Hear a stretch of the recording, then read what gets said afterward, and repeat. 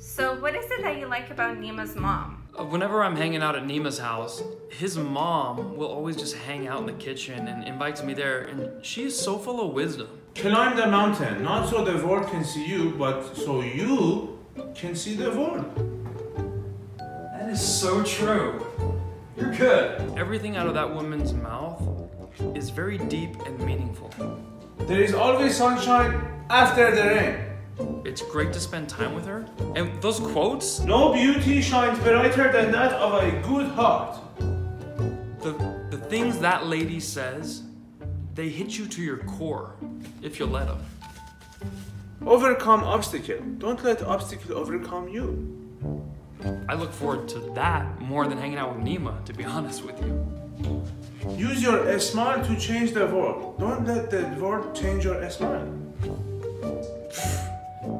So, tell us, where do you get all those meaningful quotes? Uh, it's very easy, you know. I just go on the Instagram and I search up the hashtag basic beach quote, and then it pop up. Look, like this one. No response is a response. Crazy, right? And it keep going. Nice picture too. Look, just nice picture with the quote. Uh, unlimited. It's so fun. I don't know where it comes from, but I'm just glad to be the recipient.